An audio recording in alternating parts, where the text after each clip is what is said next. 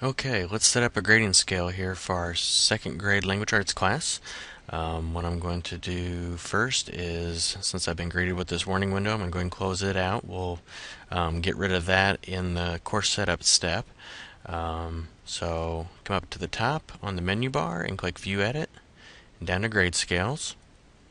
If you have used um, RDS for your gradebook before, you may have grading scales already listed here. Um, when I click this drop down, I notice here that I have two ICATS custom grade scales.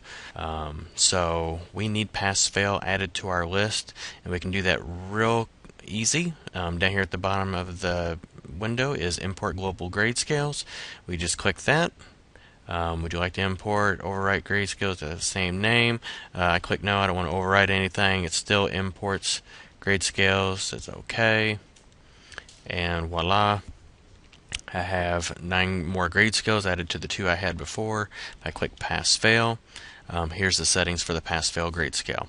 Uh, make sure those settings match yours in pass fail. And if they do, go ahead and click save done.